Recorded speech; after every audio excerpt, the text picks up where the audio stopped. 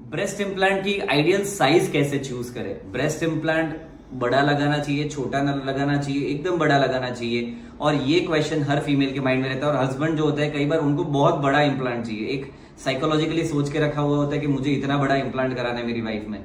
तो दोस्तों, ये इम्प्लांट जो होता है, वो एकदम छोटा भी नहीं होना चाहिए, एकदम बड़ा भी नहीं होना चाहिए। हम पेशेंट के साथ बहुत सारे इसमें हम लोग बात करते हैं, उनसे, उनका जो साइकोलॉजिकल एस्पेक्ट होते हैं, वो जानते हैं, और उसके बाद हम उनको एडवाइस करते हैं। कई बार बहुत बड़ा इम्प्लांट करने से उनको फ्यूचर में ब्रेस्ट जो है, वो सैगी हो जाता है, और बड़े इम्प्लांट से बैक पेन या नेक पेन के इश्यूज़ भी फ्यूचर में ten years fifteen years twenty years के बाद रहते हैं। अगर बहुत बड़ा इम्प्लांट यूज़ किया, बहुत बड़ा इम्प्लांट यूज़ किया मतलब उसका जो ये विथ होता है, वो बाहर निकलता है। तो इम्प्लांट यहाँ से बाहर निकलता है या तो सिम मेस्ट मतलब दोनों साइड से मिक्स हो जाता है। तो इम्प्लांट बहुत बड़ा नहीं होना चाहिए, वो नेचुरल दिखना चाहिए। मोस्ट ऑफ़ द फीमेल्स होती है, वो वर्किंग क्लास या हाउस वाइफ टाइप की होती है। तो हमको ज़रूरत नहीं होती कि एकदम बड़ा ब्रेस्ट हो। वो कई बार एडल्ट स्टार पॉन स्टार जो होते हैं, वो लोग फॉरन में कराते हैं, पर हमारे जैसी फीमेल्स को यहाँ पे इंडिया में जो फीमेल्स होती है, उनको बड़े इम्प्लांट की ज़रूरत नहीं होती है। तो इम्प्लांट चूज़ करने के टाइम में बहुत ध्यान रखिए। अच्छे से डॉक्टर्स होते हैं, उनके पास जाइए और उनसे डिस्कस कीजिए और